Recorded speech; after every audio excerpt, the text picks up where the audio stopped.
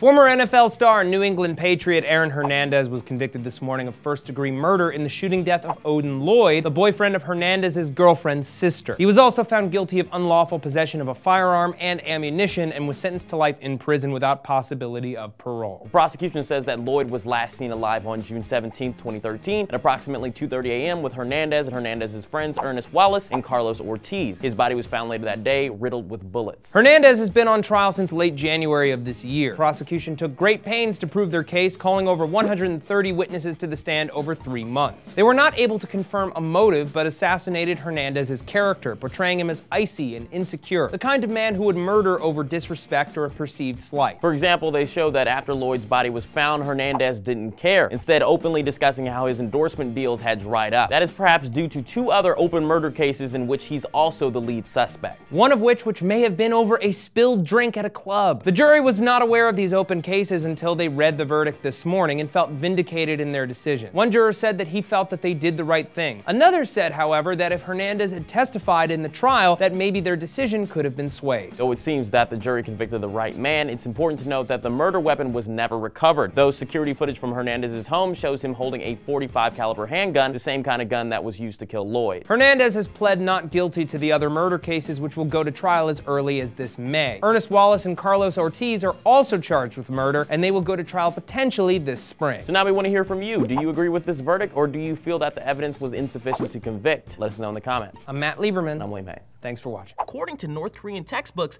Kim Jong-un learned to drive at the age of three. Of all the things to lie about, why that? She stands alone as the champion of her party and possibly will be the first female president in American history.